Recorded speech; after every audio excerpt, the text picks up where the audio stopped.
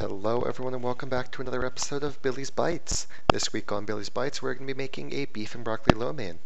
This recipe does move kind of quick so I went ahead and did some of the prep work off camera which included chopping some of the veggies, making the noodles, as well as making the stir fry sauce. As always I will have everything listed down below so you'll be able to recreate this yourself. Now let's get on to the cooking. Go ahead start off by heating one tablespoon of oil over medium heat until the oil is shimmering. Then go ahead and add in your ground beef.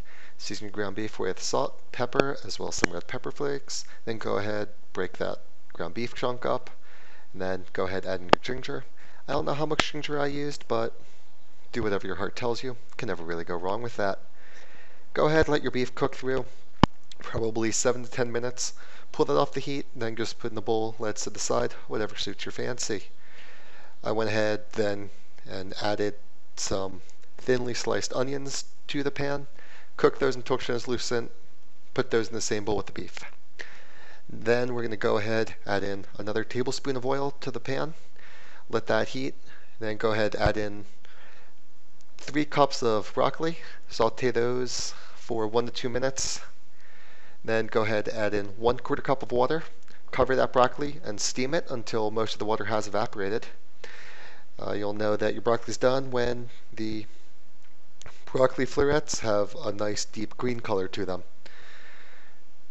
Then go ahead and add in your noodles, the beef, two cups of carrots, your onion, and that stir fry sauce. Toss everything to combine. Then cook it for an additional two to five minutes until that stir fry sauce has thickened. Go ahead, serve this in a bowl with some chopped green onions as a garnish. And voila! This gave me about three servings worth, which is something I'm always looking for in a recipe, is something I can have a lot of leftovers from.